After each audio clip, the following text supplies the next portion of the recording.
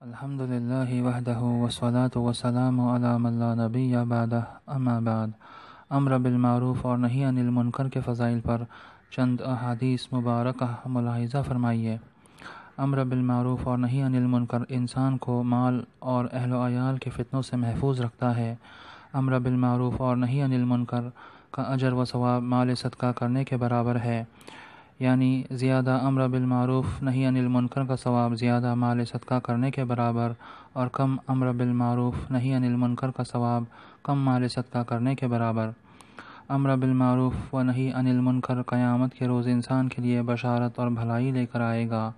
امر بالمعروف اور نہیں عن المنکر پر عمل کرنے والے کو ان تمام لوگوں کے نیک اعمال کے برابر ثواب ملے گا، جنہوں نے اس کے کہنے پر نیک عمل کیا۔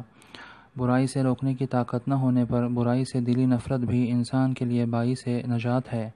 اقول حاضہ و استغفر اللہ علی ولکم